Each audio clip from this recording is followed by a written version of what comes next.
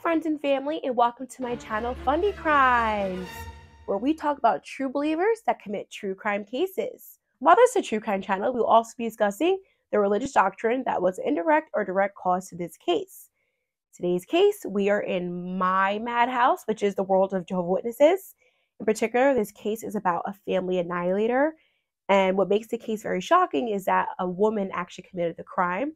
Her name was Lauren Stewart, and she committed familicide and murdered her husband and her two children. This case is very tragic. The details about Lauren's entire life is very thin because her family, I believe most of them are still Jehovah Witnesses. So a lot of them didn't really go forward with too much detail about her upbringing, but she did have a lot of close friends that came forward and stood up for her after everything that happened. Um, we're going to talk a lot about Lauren and her husband Daniel and her two children, Stephen and Bethany. But for now, I want to get into the religious doctrine about Jehovah Witnesses and how it was a cause to what happened and why Lauren did what she did. This case was very easy for me to research. Not so much about Lauren, but so much about, you know, disfellowshipping, eh, which, if you don't know, is essentially shunning or being excommunicated from the Jehovah Witness world and the congregation and the organization. A lot of my family members were disfellowshipped at one point or another. So I called a lot of them and kind of asked about their input. And also, sadly, this case, we're going to talk about child sexual abuse as well. And unfortunately, it's very common in the Jehovah Witness world. And I'll talk more about that a little later. So yeah, let's first let's talk about the Jehovah Witnesses and who they are. I also want to add in a quick note that when I do these cases, I try to be unbiased as possible, but it was kind of hard to be it was kind of hard to be very unbiased with this because I think that it's my world and I know exactly how much damage it can be to be disfellowship. So with throughout this video, I don't want it to be that I'm making excuses for Lauren whatsoever because what she did obviously was awful and a terrible act, but I see it more as an act of desperation, more so as an act of evil. Um, and also a lot of times when I talk about Jehovah Witnesses, I still say we and I don't say they. So if I say we, I apologize. It's just the way that I was raised, and I'm going to continue to say we because my whole life it was my religion and I owned it. And it was always, we do this, we do that, and we know the truth. So forgive me if I say we. I'm going to really try to continue to say they. But yeah, you take the girl out of the hall, but you can't take the hall out of the girl. So let's talk about Jehovah Witnesses. So Jehovah Witnesses, you probably know them as like your friendly neighborhood Spider-Man. You know, they knock on your door, they offer you a watchtower. They're always very friendly and understanding. They're never pushy. But, you know, behind the mask, I will say that witnesses are more terrible to their own people than they are to the outside world. Um, Jehovah Witnesses is a huge group and they're a worldwide membership of approximately 8.5 million members. And that's not even giving the numbers of their annual memorial, which is basically their Passover or their Easter, where 19.7 million members attend. And again, this is a worldwide religion. The World Jehovah Witness organization started in 1870s in Pittsburgh, Pennsylvania, and it began as a Bible study group, and it was first founded by Charles Taze Russell, um, and then eventually it switched over from Charles into the governing body of men, which will to this still this day, all of the, the doctrine, like the watchtowers, the wake magazines, all the pamphlets are written by this organization of the governing body of men. It's so funny that I couldn't even tell you any of their names, but they obviously controlled my entire life.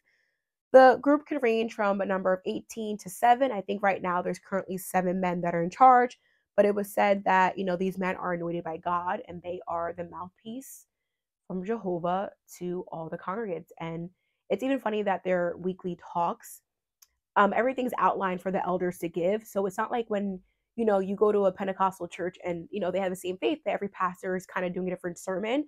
Everywhere in the entire world, they're hearing the exact same sermon and it's outlined from exactly, it's outlined from exactly what to say and what scripture to use. So these governed body members just have a very tight grip on the organization. Jehovah Witnesses don't even call where they go to a church. It's called a kingdom hall. They very much try to, you know, refrain from using the regular basic Christian words as church and, you know, pastor and stuff like that. It's very much its own little jargon, and I won't get too far into it because I don't want to confuse everyone. Um, so what do they basically believe? What I mean what they believe, this is just coming from me, what I was told my entire life, and people could correct me if I'm wrong. I was told basically that the world that we're living in is S- Satan's system of things and kind of like God had to step away, Jehovah had to step away, and you know, Jesus had to step away, and right now it's their world. And we know the truth. We had, I mean, they know the truth. They have the one, they have the one true Bible. This Bible has been around for gazillion years, and King James Bible is completely wrong. And that it is the true religion, and they have to spread the good news.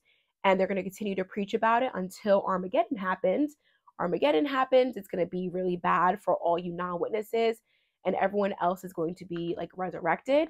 If you die before Armageddon, which many millions have, obviously they believe you don't go to heaven or hell, and basically you just go to sleep.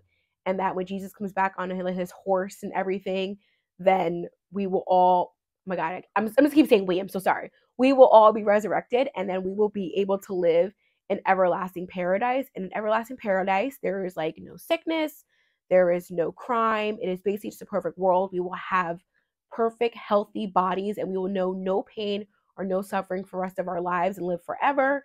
And I was asked when I was a kid, I remember being like, what age are we going to be if everyone's young? Like, is my grandma to be my age? And they just had no answer, of course. But besides the point, that's why Joe Witnesses put a big emphasis on not sending your children to college. And remember this for the case because they believe that sending your kid to college, we're not going to need doctors and lawyers in the new system in the new world, um, you know, in everlasting paradise.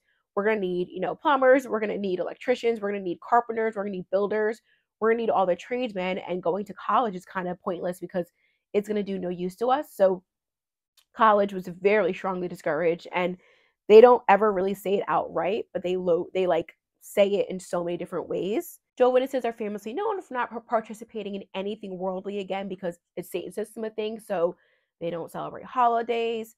They don't like participate in elections. They don't, you know, encourage much fraternizing with people on the outside of the religion, even though it's not like you can't talk to someone that isn't Joe Witness, but most of the time they want you to kind of remain in the bubble. And if you if you work for someone, let it be a witness. And growing up, a lot of my family members like worked for other witnesses and getting outside jobs. Whenever they did get outside jobs, they worked with all witnesses around them. So even their boss was like my mom's boss was Jewish, but everyone in the upstairs office was Jehovah Witness. So they kind of try to keep it very small, but at the same time, they're not as like culty, I can say, as other organizations that we talk about in this channel that they're like, oh, you can't talk to anyone. You're still allowed to have like friends and family that are on the outside, but really like what's the point if you're not going to see them in in paradise, right? I would say the two biggest things and two biggest reasons why there's strong criticism in the world of witnesses and something that I feel like, you know, is terrible. One thing they do is disfellowship. Um, Guinness fellowship is basically like when you do something that is either adultery, something that is against some of the religious doctrine, and I'll read exactly what the stipulations are. And when it happened, you go in front of elders, they give you your papers and tell you you're fellowshipped, and no one in the congregation is allowed to speak to you anymore whatsoever. And you basically have to like earn your way back into their congregation. I know I have family members where this took about five years. So keep that in mind that when they stop speaking to you, it's 100%. And I actually went on the Jehovah Witness website.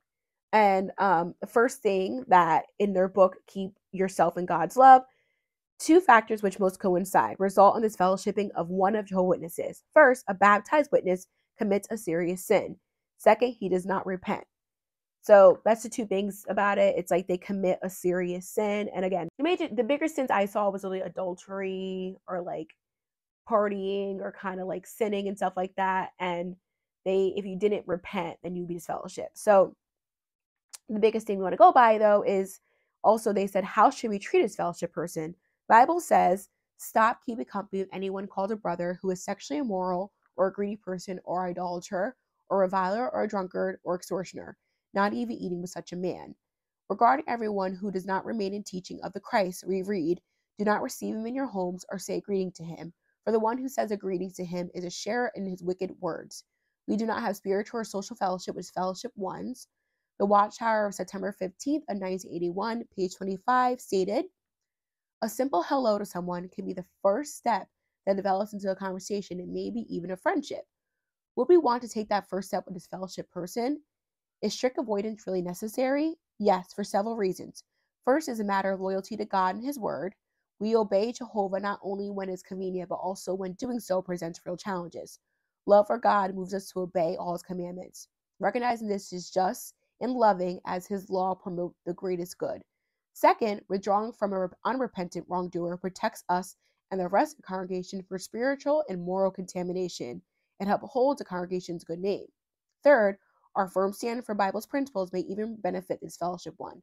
By supporting decision of the Judicial Committee, we may touch the heart of a wrongdoer who thus far has failed to respond to the efforts of the elders to assist him.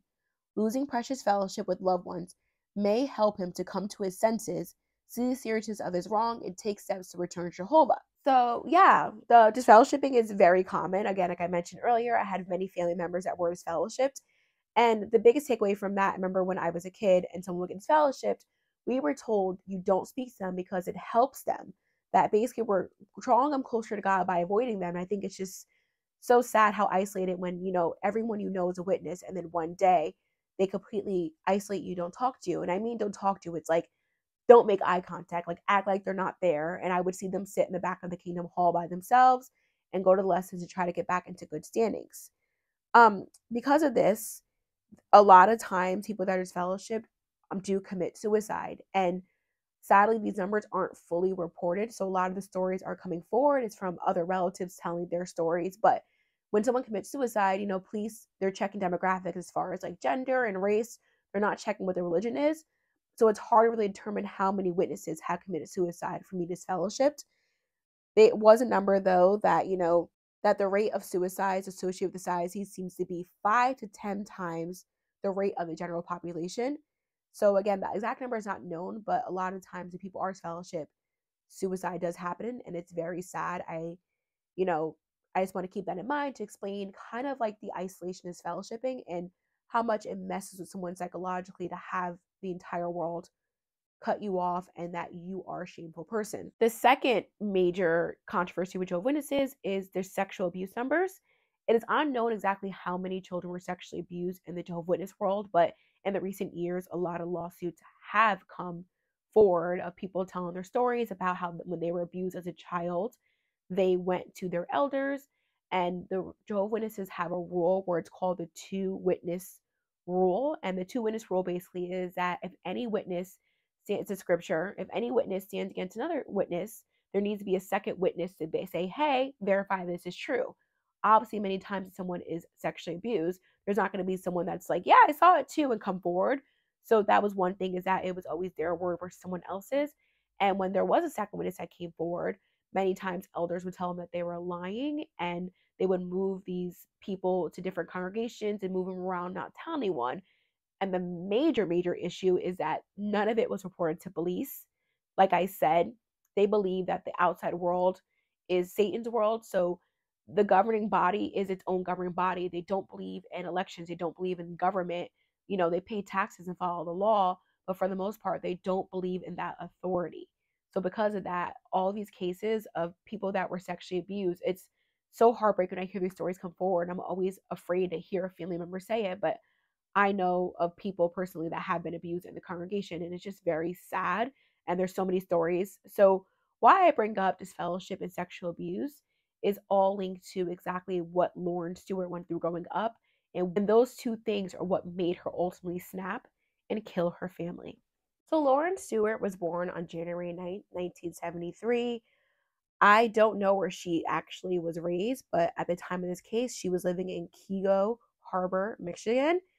Um, growing up, from what I was able to gather, Lauren was one of 11 children, and her mother died when she was around 13 or 12 years old. And according to her very close friend Joyce, who we're going to talk a lot about her a lot later, she's awesome. Around the time after her mother died, she began to be sexually abused by a family member. There wasn't detail exactly of who that member was, but, you know, Lauren went through that, and that obviously probably was something that was terrible for her. So, not much is known about the gap from her age 13 until she met her husband. Her husband's name was Daniel Stewart. I'm unsure if Daniel was a Jehovah's Witness himself, but I know Lauren was raised one. But, you know, throughout Lauren's childhood and, you know, even early adulthood, when she became a mother, she did suffer from depression. She had two children who we're going to talk about. Her children's names were Stephen, who was born in 1990, and then her daughter Bethany, who was born in 1994. For the most part, they seemed like a very loving and happy family. They were Jehovah's Witnesses and they were going to the congregation regularly and they were practicing, you know, and they they were faithful. Daniel was described as being someone that was like extremely intelligent. He actually had a great job at the University of Michigan Center for Integrative Research and Critical Care. He was a data solutions architect. And again, everyone said that he was like freakishly smart, like very, very high IQ. And his son, Stephen, also was the same way, where he also was very smart. Their son, Stephen, excelled at computers, and their daughter, Bethany, was also very intelligent and great at graphic arts. So, like I mentioned earlier in my long ramble, Jehovah's Witnesses really don't encourage children going to college because they say that we don't need it in the new world when we go to everlasting paradise. However, it obviously is control tactic. I think that they discourage it obviously so that children don't become worldly. But they had two very smart kids and they didn't want their kids not going to college like they did. So they sent their kids to college. And when they did that, allegedly the organization and their congregation got very upset that they did this and they disfellowshipped Lauren. And Lauren was disfellowshipped and, you know, she was doing the right thing by her kids. So I think whenever you know you're right, you're able to remain firm and strong and say, you know what, I'm doing what's best for my children.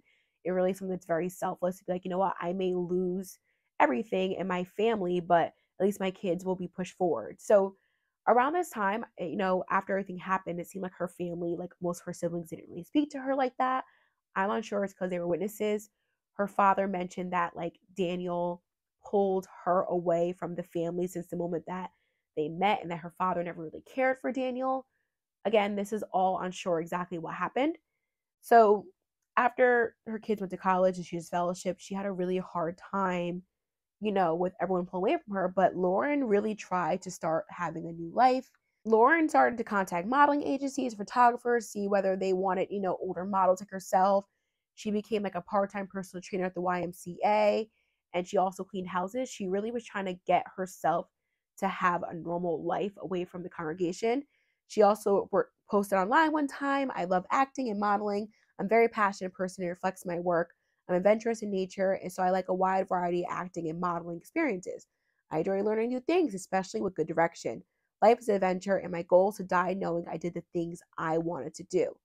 So, so Laura in the beginning was, you know, remaining very like trying to remain positive and keep her head above water. But slowly, her family members started to notice something a little bit different about her. That she started, you know, becoming a little depressed. She started talking a lot more about like religious doctrine. They weren't sure if it was mental illness or everything finally getting to her. And you have to realize, growing up a Jehovah's Witness, we are told since like day one about how Armageddon is to come, like a, a, thief in the night, and it makes it makes you very anxious. Like they're oh, we're always told that like we have to be vigilant, we have to be careful, we have to like always like be vigilant with our faith because any moment the world can end. I still have anxiety from that, and I still have fears that maybe I'm not doing the right thing, and maybe that one day, you know, Armageddon is going to come and there's a passage i think it was in the watchtower where talks about that the people that are basically apostates that were former members are the ones that are going to be the most damned as opposed to those that didn't know the truth. So that kind of builds in your mind if for you know for 40 years you're hearing this all the time. So again, Lauren and Daniel were 47 years old at the time. Their son Stephen was 27 and their daughter Bethany was 24. Bethany was still living at home, but Stephen was not. So as Lauren was kind of like seeming very off to close friends and really going on religious rants, I think no one really took it as seriously. And she was not on any type of medication or was getting any type of external help.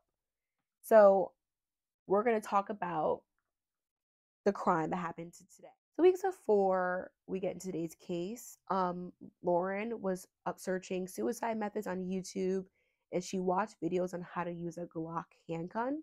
So, on February 6, 2018, at 11 p.m., Lauren recorded a two minute video of herself explaining that she was going to commit suicide and it had nothing to do with her family and that, you know, she had many issues and that she couldn't do it anymore and that she didn't want to be a burden to her family. On February 7th, the next day, around 1 p.m., she recorded another video about her path of destruction, talked about her childhood sexual abuse, and explaining that it drove her to want to commit suicide. The day before, on February 14th, Lauren, you know, reached out to her son Stephen and was kind of like, "Oh, come over for Valentine's Day." Again, this family was very close, so Lauren obviously this was very, very, very premeditated. On February 15th, she sent her husband's boss text message that said, "Mark, this is Lauren. Dan had an accident this morning and has died. I can't talk now. Someone will inform me later on the details at hospital." The boss, you know, obviously texts back for more information, and Lauren did not respond. The same day, later on, Lauren texts her cousin, and she said this I hate to tell you, I failed my test with God to submit to Him. I stumbled on the free love from God. I wanted His love, but not if I had to belong completely to Him. I made a selfish heart by doing for me instead of God. I hardened my heart and lied to myself that love from God isn't real. I'm ashamed of the that I became I become evil. I took my husband and kids with me so they don't have to feel my selfish act. They will sleep till Christ. I truly hope you do better where I failed. And this is the last communication she ever made with anybody. And her cousin immediately freaked out and went over to her house. And that is when police were called and they discovered what the scene was. And it's unclear exactly the order of the deaths, but her daughter Bethany was sadly found on her bed where she was shot in the head with um, a pillow covering her, most likely to silence it. Her son Stephen was found face down on the spare bedroom floor and was believed to have been shot twice in the head while sitting in a chair when he fell. Her husband Dan was found in the basement in front of the couch with a gunshot wound to his head. His right hand was in his front pocket, suggesting that he tried to react when he was shot. And then Lauren herself was found at the base of the stairs with a pistol next to her. She shot herself between the eyes after having to look up the method online. She also killed the family dog, so it was a complete family annihilation. You know, clearly this was very methodical and thought out. And in her suicide note, um, some parts that I was able to find, it said, I allowed evil into my heart I chose not to accept God's free love, and it made me sick inside. I killed my family because I know my death would stumble them. At least now they will not suffer and be resurrected into love forever in peace. Remember, what they believed about like resurrection and that she believed, I think, what she believed was that, you know, by doing this, she won't go to paradise, but at least her kids will. And I think Lauren, in her, you know, mind that seemed very sick, she thought because they weren't living the Jehovah's Witness world by killing them, it gives them more of a chance than the life that she started them on, the path she put them on, which was putting them in college. And I don't know where her regrets were 100% religion or if it was a mixture of mental illness. I just know that her suicide note, from what I was able to find, had a lot of religious Jehovah Witness doctrine and reading as a former Jehovah Witness, the letter made sense, but to the outside world probably was like, what is she talking about? Resurrection. So yeah, that was a lot. Taking a pause. I'm, I'm sorry if I sounded very like dry as I was reading it. I just think, you know, I'm a mom and I just, you know, I'm trying to not put my head too much in it. And I'm also a former witness. So I'm trying not to cry reading about this because I think what her children went through and her husband went through is just absolutely awful. Sorry, try not to get emotional. I think her kids deserved a chance to have a life, and it's just so sad their lives are cut off at 24 and 27. And, you know, it's hard for me. I'm upset with her, you know, reading about this, and the same time, though, I'm understanding the madness where it's kind of like, you know, disfellowship people, when we outside world reads this case immediately, you probably think to yourselves, like, oh, this woman's psycho and she was evil, you know, I hope she burns in hell. But for me, it's kind of like almost a cautionary tale where it's like they have to reconsider the practices of fellowshipping. I know it's in the Bible, but they have to reconsider the lengths they go to and how much isolation and how they don't check in with the people that are fellowship that they don't have like a elder or a brother that is required to be like hey do a monthly check-in see how these people are doing and they want to come back and make sure their mental health is okay. I think it's clearly isolating them and giving someone this silent treatment is not ever gonna work. And you know talking to family members that was fellowshipped and you know in the past two weeks and hearing like the pain they went through and being avoided by their parent or their siblings and it's just really like heartbreaking and i'm trying again not to get emotional but i'm just explaining why i read all the details of the case so dry i don't want anyone thinking my true crime channels that when i talk about these crimes that they're just like oh shot our kids who cares like i care um, it's just I'm trying to not think too much about the step by step process. So, yes. So, and this is the most I think I ever ranted in a video, not get straight to the facts.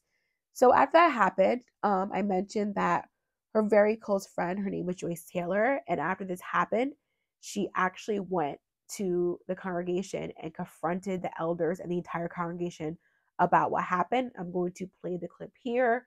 I can watch that clip every day for the rest of my life and just like die happy.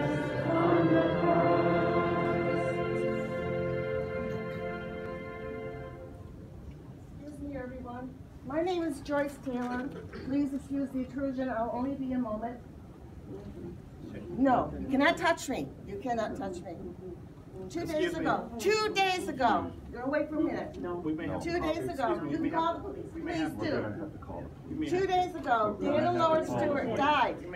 Four people died as a result of your shunning process. Can we go in the back and talk? No. Five years ago, all of you pulled your support from this small family, Ma'am, you'll fall. from this small family. Please get down, And you'll all, do not touch me, do not touch me. Please get down. The only supports they ever had was you people. And you turned your, you turned them away and you shunned them. For what? Because they wanted to raise their children as they saw If you fit. do not get Jesus said, The police are the on their way. second that you did this to Elisa line, you did it to me. Let that sink in. John? Do any of you realize just how fragile the human psyche is? I hope in your prayers today, you will find that in your heart, Very unpleased. Please. ask forgiveness for, for what you guys did. We This is sit. terrible. Uh, we need to be careful. Be careful getting down. Can we have someone? Do not touch me. Hello, can we have someone? Can you- Thank you, everyone. And I don't think people realize how badass Joyce was for doing that. And Joyce also afterwards came forward and she explained a lot of like Lauren's mindset because when the headlines first happened, it was just like, this is a family annihilator. It's a beautiful woman who killed her beautiful children and her successful, handsome husband. And everyone was just shocked and didn't understand. So um, Joyce was kind of like that spokesperson that went around and really made sure to explain the psychological damage that Lauren went through and also explaining like, you know, her childhood trauma and kind of giving a bigger picture of exactly how this happened. Um so yeah, I think that's just amazing friend to continue to, you know, give out that support even after your friend did something terrible and to understand where they came from. Um there really wasn't much afterwards, you know, they spoke to the press spoke to some family members, like I said her dad and her sisters, they seemed like they still had a you know they were like we haven't spoken to her in six years we haven't spoken to her in five years. So it kind of explains that lauren really was isolated from her family. Again i understand her family's faith so i don't want to have this to be like a video bashing them of how dare they. I get why people don't talk to fellowship people because you actually think you are helping them and i believe that for like most of my life and i get it now how awful it truly is um yeah so that is the case. I think I rambled more in this video than I ever have in any other video. Usually I try to get straight to the facts and then give my opinion at the end. But this is why I was avoiding a Jehovah's Witness case. And it's hard for me to kind of criticize them so openly because I still have a lot of family members that are part of the organization and I love them a lot. And I don't agree with their beliefs, but it doesn't mean I don't love them. I don't think that they're bad people. I just think that I was given the opportunity because my like I mentioned in previous videos, my parents were really shitty witnesses, so they didn't follow the rules all the way. So I was able to have more opportunities into the outside world and go to college and was able to get another perspective. And a lot of my family members didn't. So I'm saying all these things, you know, and it's coming from like a high horse kind of in a sense. And I don't want people misconstrue that like I hate witnesses. I don't. I just disagree and I don't believe in their beliefs. I disagree with a lot of things that they do. Um, there's so many different type of witnesses. I think that, you know, we see like conservative Christians like the IFB, stuff like that. It's like there's only one type. You're either in or you're out. The thing with witnesses, it's like there's so many different types. There's people that are like the, that are fully in, that go to every single meeting, that go door to door. They're like the pioneers. They're like very serious. There's also witnesses that are like kind of one foot out the door that believe, but they're sick of all the work that's involved and they kind of like avoid going, but they go to like memorial and stuff like that. There's also the ones that are like completely out, but they can't renounce what they believe. They can't renounce the faith because they'll lose everyone. And it's sad that they're like so trapped. And if anyone's watching this that is a former witness or someone that wants to leave, just take your time. Like, I know I come from a place where, again, I was fortunate where my parents, like, I was exposed to the outside world and I had a lot of friends and I had a lot of family. My mom's entire family was not witnesses. So I had plenty of places to go. So it's like kind of like leaving an abusive relationship. They say take your time, don't leave right away. It's more dangerous. It's like take your time and talk to people on the outside, but don't feel pressured to have to like just put both feet out the door and run away. Just take it easy, make sure it's right for you. Um, I would love one day to like do a video where I sit down and talk to like my dad who was disfellowship before and like other close relatives and have them share their stories because it's I don't know, it's like when I talk to them, it's like some of them it felt like it was like a break from it and they were able to have a normal life and others it was just like the worst moment of their entire lives and that they felt like they had nothing and they're still they're disfellowship like I'm not exaggerating 40 years ago or 30 years ago and they still feel the trauma from it. And they're still they're still trying to heal. And yes again i'm ranting and i just want to tell everyone to hang in there. Um if you are struggling i'm going to put resource at the end where you can reach out. Like i know you feel like you're alone and for the most part yeah right now you are alone but there is a world out there that's going to love you and take care of you. Don't feel like you don't have people to reach out to. And if you're feeling that way, I'm truly sorry. Try not to cry. Again, I'm trying not to get emotional, but this case makes me very emotional because Lauren was desperate and her kids and her husband had to suffer. And I'm just so sad for them that they aren't here right now. And, you know, I just, it sucked. But yeah, you guys, any questions for me about my life as a former witness, you know, please comment below. Please subscribe. It really does help the channel. I'm trying to like build this up, maybe get a little monetized. That'd be awesome. But if not, just, you know, still comment below. I'll post on the Fundie Snark subreddit. I think I'll try to also post it. I think there's an XJ Dub subreddit. I'd love to hear from XJ Dub members how they feel about this case where they're feeling how I'm feeling, where it's like, where I'm so biased I feel so bad for Lauren. At the same time, I'm so angry at her for what she did. So yeah, thanks for letting me rant about former Jehovah's Witnesses. And I'm sorry that this was less, you know, reporting and more ranting and whining. So yeah, and I'm also very nasally. I got sick again. Story of my life. But thank you everyone for watching and supporting.